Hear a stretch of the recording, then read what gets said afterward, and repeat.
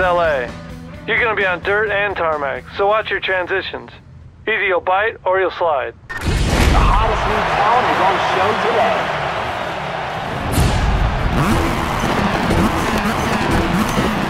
Let's keep it clean.